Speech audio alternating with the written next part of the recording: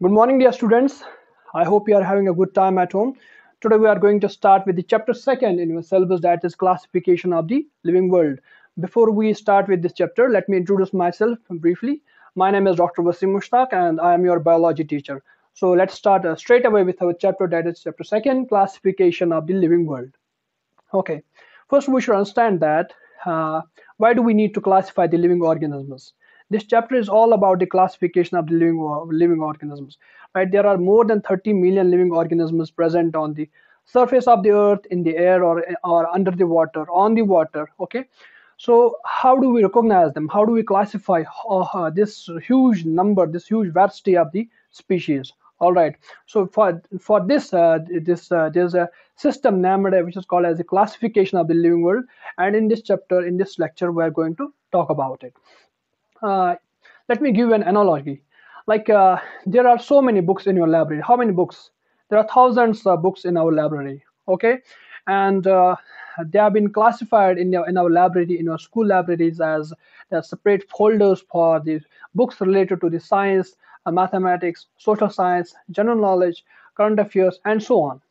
Okay, suppose there are no separate shelves for the particular uh, for the particular set of books i mean there are no sh separate shelves for science or maths and so on. Okay? And we and uh, we students are allowed to place any book anywhere.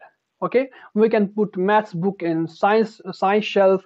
We can put uh, put english book in mathematics section right? We can uh, we are uh, being allowed all the students are being allowed to put any book anywhere. Now the the problem will arise when you will be looking for a particular book. For example i need uh, uh, the biology book of class 6th okay? Now if i will go to the section uh, biology science science section and therefore uh, there and i will look for the biology section.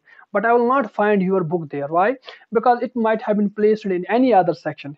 Suppose in mathematics or in uh, or in english literature right? So it becomes very compulsory that we put uh, the particular books in separate sections and that too and that too and uh, that too are arranged alphabetically right? If i need a biology book first i will go to the science section okay? And there from i will start with the alphabet b. I'll not start with the alphabet a but i will start with the alphabet b. Then i will look for bi then i will look for biol okay? And ultimately when this uh, i will reach the section biology and therefore therein i can find the class 6th biology. Understand? Similarly there are numerous there are 30 million species uh, uh, present uh, on the earth. Okay? So it becomes very necessary to classify them in separate sections. Like we uh, like we have put books in the separate sections we also need to put these living organisms in the separate sections so that whenever we meet um, whenever we are talking about any particular animal or a particular plant we can straight away go to the library the separate library it has and find it there. Understand? So there's a system which is called as the biological classification. This system is called as the biological classification but biological biological classification. Biological classification is the identifying grouping and naming of living organisms. Identifying grouping and naming of living organisms means first we have to identify okay? We identified a living organism then we grouped it. We grouped it in, uh, into its uh, perfect position okay? And then we have to name it. Is identifying grouping and naming of living organisms is called as the biological classification. All right. Advantages. What are the advantages of the biological classification? Advantages i already told you. It becomes it makes the scientific study simpler. Understand? It makes the scientific study simpler. Means when we have to look for a, particular animal or a particular plant we'll go straight away to its uh, to its uh, particular section and we'll find it there. Okay? So it makes scientific study simpler. And number second it does the generalization of the characters. Generalization of the characters means for example uh, i have put i will put uh, the bulbul uh, the parrot and the pigeon in this section. Aves that's the birds I'll put pigeon, parrot in the section birds. So, so means uh, this pigeon, parrot, and uh, pigeon and parrot or bulbul, they all have they have most of the characters they have are same. Like they fly in the air, they have hollow bones okay they are light in weight okay so this they are they have uh, they have this these feathers to fly so it, it is the generalization of the characters means i do not have to remember the characters of the pigeon only. Okay? I can remember character of any of the birds and those characters uh, are similar in all the in all the bird species right? So it helps in the generalization of the characters. Number uh, it uh, what are the advantages? It makes the scientific study simpler. And number second it helps us in the generalization of the characters. And it also helps us in the grouping and classifying of classification of the living organisms simpler okay now there are two systems of classification. Systems of classification there are two systems of classification. One is the artificial system and other is the natural system. Artificial system in artificial system of classification only few superficial characters are concerned. Okay only few uh, superficial characters are concerned. Like for example aristotle was the first was the first person to uh, apply this artificial system of classification in the case of animals. In the case of animals like he classified animals on the basis of like uh, uh, animals uh, here like uh, some uh, some animals that lay eggs are called as oviparous and they were grouped separately. And the animals which give birth to the young ones okay they are they were grouped separately. Organisms animals that could fly that had wings. For example, according to this system, artificial system of classification, insects and birds both have the ability to fly. Okay, they were class they were classified together, but they are uh, when uh, today uh, due to the advancement in microscopy and several other studies, we know that birds and um, insects they are two separate taxa. That is the uh, aves and the uh, insecta and then was the next person Theophrastus. Theophrastus was actually the pupil, the student of the Aristotle, and he was the person who classified the plants. He classified plants uh, plants into trees, shrubs, herbs, and undershrubs on just on the basis of their size. So Theophrastus classified plants just on the basis of the size.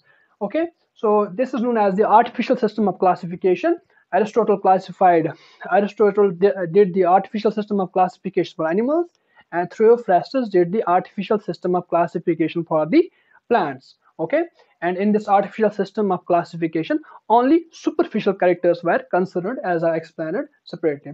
Now, there is next system of classification that is called as natural system of classification. Okay, it has two uh, two kinds. That is two kingdom system two kingdom system of classification and the five kingdom system of classification. Two kingdom system of classification was given by Carolus Linnaeus in 1758 and five kingdom uh, system of classification was given by R.H. Whittaker in the year 1969. Okay, what is natural system of classification? In the natural system of classification, the first is the two kingdom system. Two kingdom system of classification given by Carolus Linnaeus or it's also called as the modern system of classification okay what's the two kingdom system Carolin, carolus linnaeus in the year 1758 divided all the living organisms into two only two kingdoms kingdom plantae and kingdom animalia.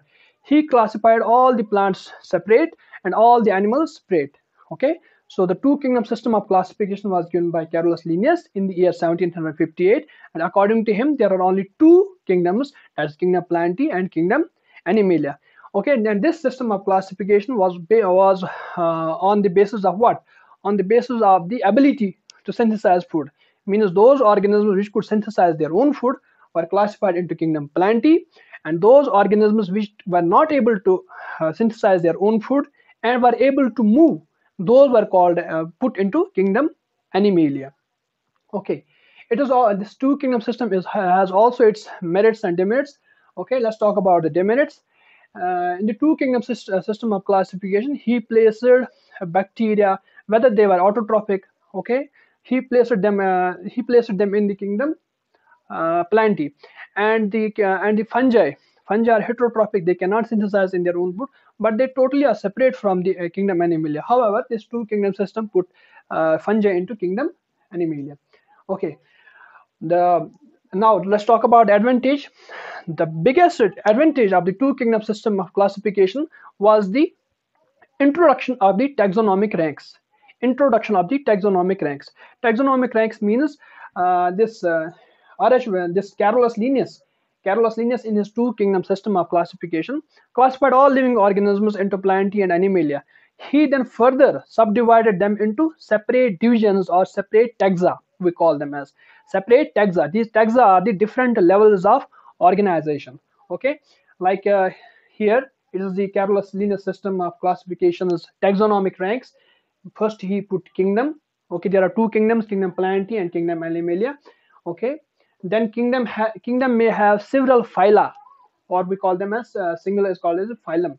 And phylum has many classes okay? And the class has several orders. An order may have several families.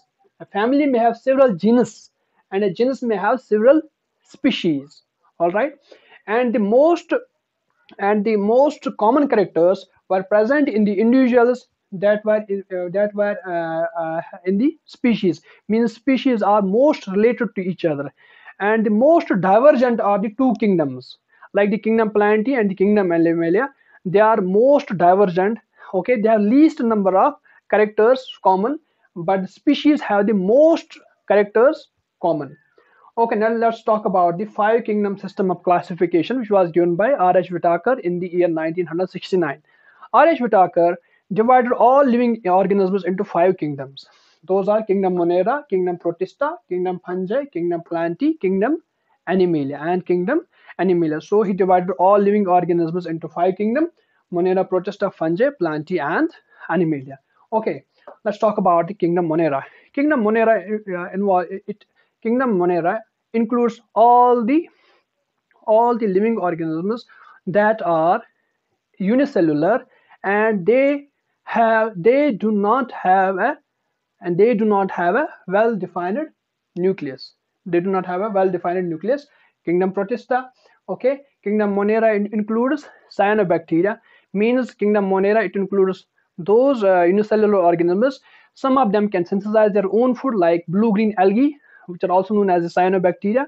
Means the uh, blue green algae are not the algae. They are the kingdom they belong to the kingdom monera okay and the kingdom protist next is the kingdom protista it includes all the diatoms the amoeba the paramecium. Some of them may be heterotrophic and some of some of them may be uh, the uh, photosynthetic.